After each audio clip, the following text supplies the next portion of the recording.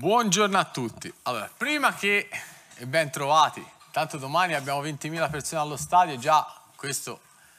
è una bellissima cosa per iniziare il cammino in casa. Poi, prima che mi fate le domande, sicuramente me le farete. Allora, ieri parlando con Cristiano mi ha comunicato che non ha intenzione di rimanere alla Juventus ed è per questo che domani non sarà convocato, stamattina non si è allenato e quindi ora possiamo parlare dell'Empoli, che credo che è la cosa più, in questo momento più importante, perché comunque eh, abbiamo iniziato ad Udine eh, non riuscendo a vincere una partita che si era incanalata bene e domani abbiamo assolutamente l'obbligo di vincere contro una buona squadra, una squadra veloce, pimpante, eh, che gioca un bel calcio e quindi bisogna fare una partita eh, giusta per cercare di prendere tre punti. Ma direi che stiamo, stiamo lavorando bene, però eh, bisogna fare delle vittorie. Abbiamo giocato la prima, eh, siamo dispiaciuti per non aver vinto a Udine. Purtroppo sono capitati due imprevisti che possono capitare, eh, che però non devono capitare più. E la squadra ha fatto una buona partita, è normale che bisogna migliorare sul piano del gioco, al secondo tempo abbiamo sbagliato molto tecnicamente come, come passaggi, e su questo stiamo lavorando, sta migliorando la condizione eh, fisica e poi domani giochiamo in casa, giochiamo di nuovo davanti al nostro pubblico e sicuramente ci sarà una bella atmosfera e bisogna essere pronti. Ma, eh, i ragazzi cioè, sono già tutti res-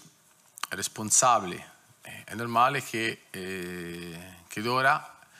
la, con l'assenza di, di Cristiano, eh, direi sono, sono, tutti più responsabili, sono dei ragazzi, una squadra direi, dove ci sono tanti giovani dentro, bisogna migliorare,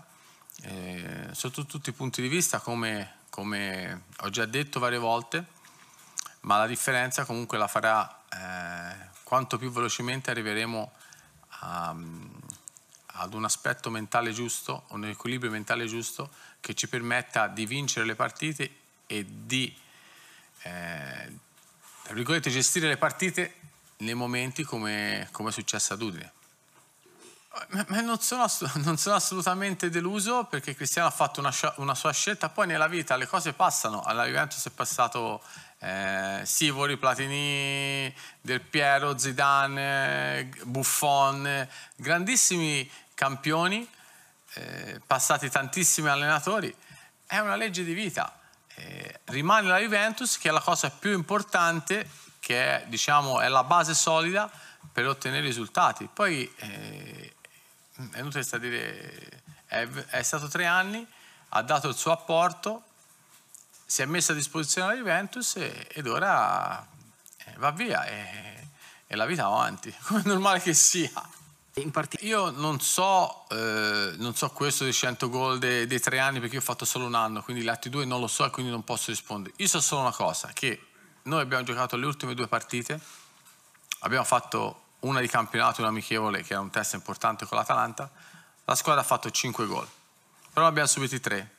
e come è una regola che ormai vige da quando hanno inventato il calcio, per vincere il campionato vince chi ha la miglior differenza reti. Quindi se noi invece di subire tre subiamo uno o due, abbiamo tre punti in campionato. Quindi dov'è che bisogna migliorare? I gol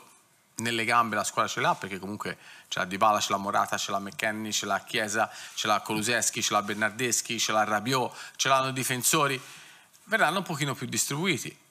Eh, Cristiano ha fatto tanto, è un grande campione, gli auguro tutte le fortune del mondo dove andrà a giocare, è stato